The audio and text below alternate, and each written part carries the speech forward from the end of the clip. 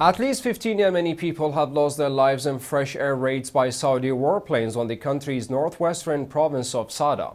The Saudi airstrikes killed 13 Yemenis and injured three others in Sa'ada's Monabbih district on Tuesday, Al Masirah television network reported. Two other Yemenis were also killed in similar attacks on the Al Safra neighborhood of the province.